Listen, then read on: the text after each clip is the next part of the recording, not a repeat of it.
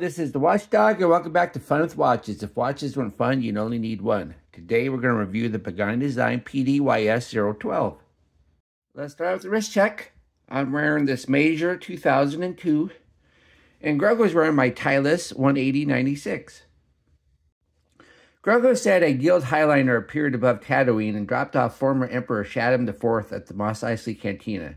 He got drunk and started singing, I'm Shaddam the Fourth, I am, Shaddam the Fourth, I am, I am, I am married to Reverend Mother, therefore the house of Corrino is no more.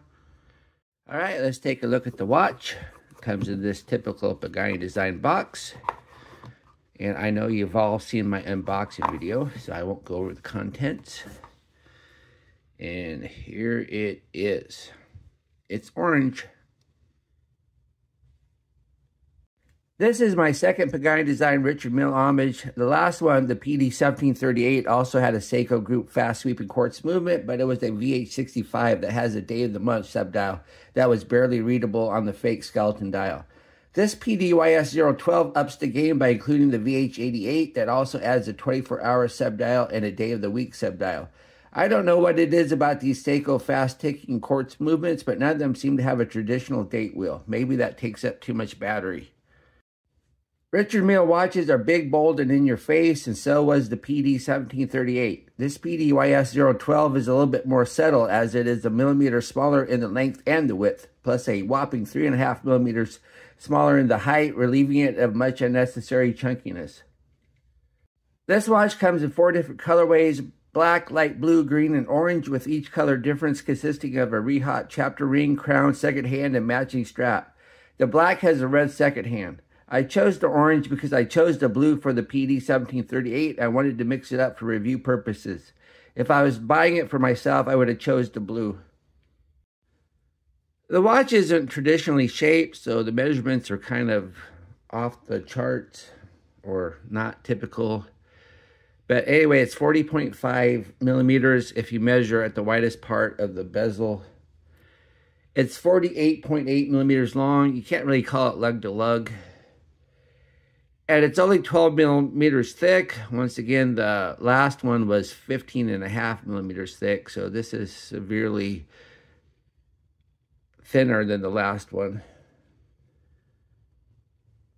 Uh, no lug width because of the integrated bracelet, but it's 26 millimeters where the strap meets the bracelet and weighs 109 grams on the supplied silicone strap.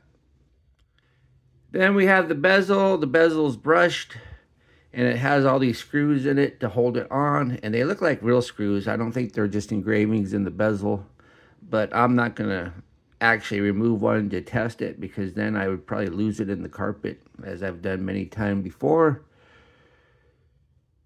And then we have the dial we have the Rehaut chapter ring with the minute markers and the minute counters and then we have the indices just right next to the chapter ring. And they're just these little tiny triangles, not very big at all.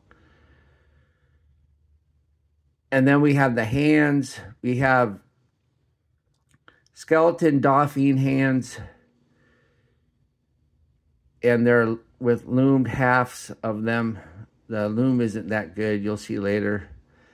Then we have a orange second hand, and each colorway matches their second hand, except for the black. The black has a red one for some reason. Maybe because the black would have just been too hard to see. And then we have the dial. The dial is a fake skeleton. All these little gears and stuff are fake. Because this is a quartz watch, not an automatic. And then we have the subdials. The one top right is the day of the month, and it's really hard to read. I can't read it very well at all. And then on the bottom, we have a 24-hour subdial. And as you can see, it has a blue arrow tip. I'm not, I guess uh, it was too, they didn't make it orange. And then here we have a day of the week indicator it shows that it's Saturday.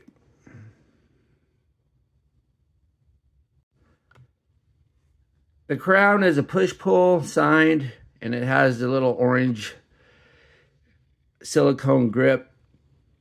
And, of course, the other colors match. It's only uh, 50 meters water resistance, so you just get a push-pull. You don't get a screw down. I've never had an issue with these Seiko VH movements and minute hand jump.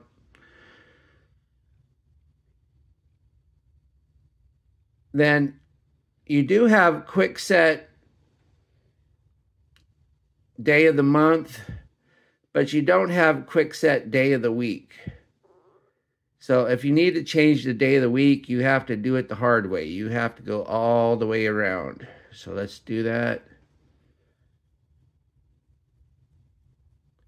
As you can see, we're going to cross the 12 hour really soon.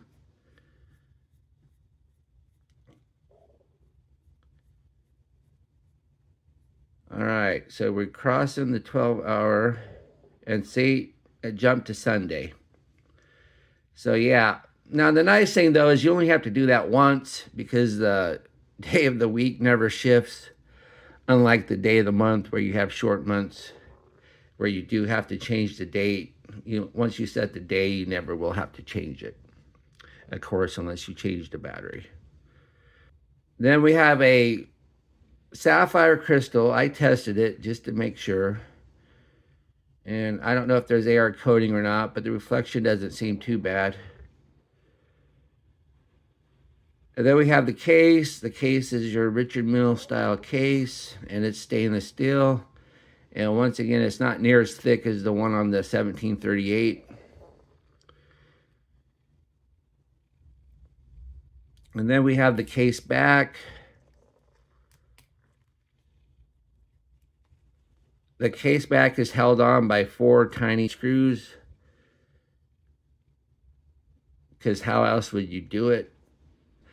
Says Pagani design up top, sapphire stainless steel back. Ooh, stainless steel back. I wonder if that means that the rest of it is not. I don't know. It looks like stainless steel, but maybe it's not. Then it gives the 5 ATM water resistance and PDYS012. Underneath the case back is the VH88 movement. This is a fast sweeping quartz movement that ticks four times a second. And I already went over the other features, which is the day of the month wheel, the 24 hour wheel, and the day of the week indicator.